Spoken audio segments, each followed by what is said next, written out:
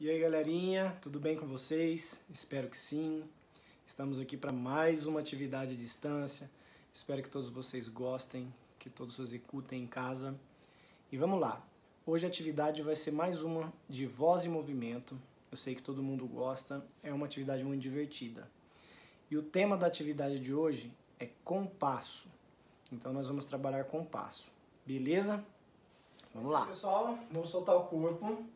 E o nosso compasso vai ser quaternário, tá? Quatro tempos. Vamos marcar com as pernas, tá? Ó. Um, dois, três, quatro. Um, dois, três, quatro. Agora com as mãos, vamos acompanhar. Um, dois, três, quatro.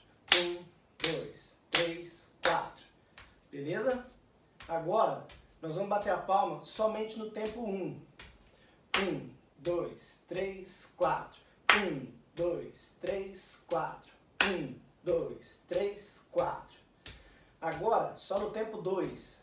Um, dois, três, quatro. Um, dois, três, quatro. Um, dois, três, quatro. Agora só no tempo três. Um, dois, três, quatro. Um, dois, três, quatro. Um, dois, três, quatro. Agora só no tempo quatro. Um, dois, três, quatro. Um, dois, três, quatro. Um, dois, três, quatro. Beleza? Então é isso, pessoal. Essas atividades de voz de movimento são muito boas para treinar a nossa coordenação motora, né? Uma questão do tempo mesmo, que a gente melhora a nossa rítmica.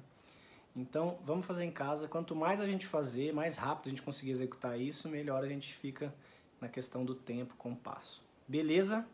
Muito obrigado. Até semana que vem.